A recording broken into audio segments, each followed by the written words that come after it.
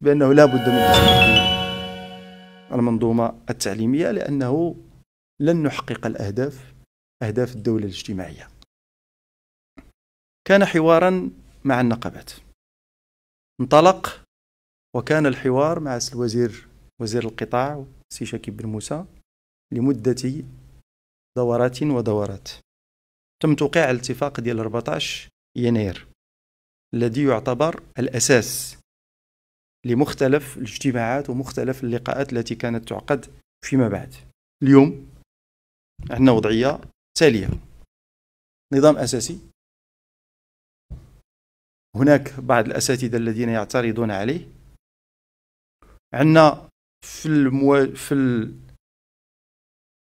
في ال... في ال... يعني في الجانب الآخر عندنا حكومة لم تغلق الأبواب بل على العكس استمرت في النقاش وفي الحوار من أعلى مستوى في رئاسة الحكومة. السيد رئيس الحكومة شخصيا التقى مع النقابات. والبلاغ الذي صدر عن هذا الاجتماع واضح وضوح الشمس بأنه سوف يتم العمل جنبا إلى جنب في إطار الحوار المفتوح في إطار استحضار المكتسبات ديال الرجال ونساء التعليم في إطار استحضار المصلحة ديال التلميذ التي أعتقد بأننا جميعا كقوى سواء كنا رجال تعليم أو لا فاعلين عموميين أو حكوميين أو أحزاب سياسية كلنا معنيون بهذا الموضوع وكلنا نعتقد بأن المكان الطبيعي للتلميذ هو المدرسة ولا يجب أن يتعطل هذا المسار مسار التلقي والتعلم وعندنا مازال جزء من الأساتذة الذي اليوم يريد أن يعبر عن فكرة الحكومة. كتعرفها؟ لكن السؤال المطروح هو واش الحكومة صمت الأذان ديالها؟ إطلاقا. واش الحكومة غلقات باب الحوار إطلاقا. الحكومة مازال مستمرة في هذا الحوار هذا. نعتقد وقلتها في الأسبوع الماضي بأنه آن الأوان.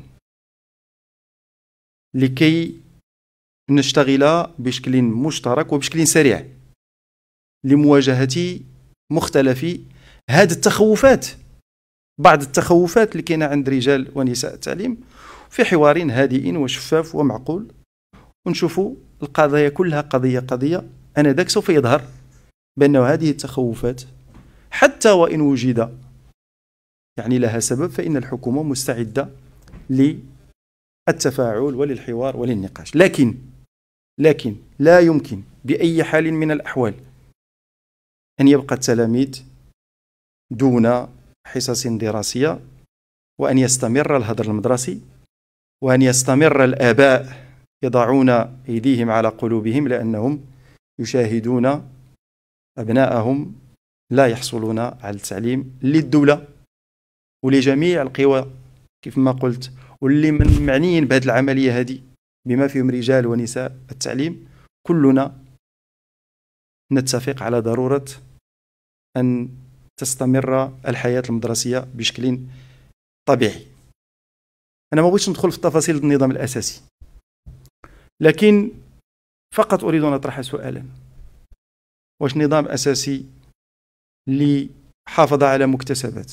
وجاب يعني بعض القضايا من قبيل مدارس الريادة اللي غادي تولي واحد المدارس في واحد الجودة معينة وفي واحد المستوى من المردوديه ومن النتائج. أنا فقط أطرح أسئلة بصوت مرتفع.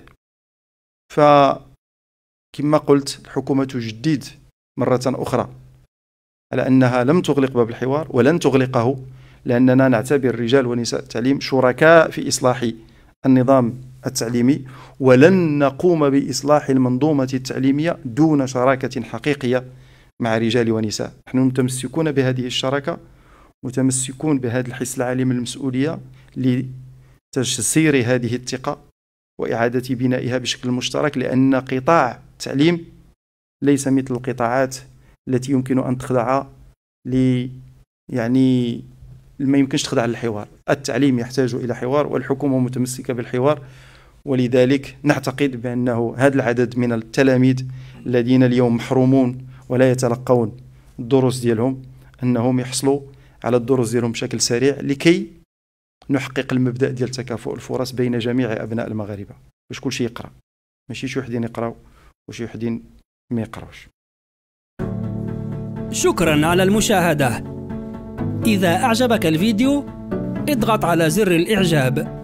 لا تنسى الاشتراك في القناة وتفعيل الجرس وتابعنا على مواقع التواصل الاجتماعي. مرحبا بك.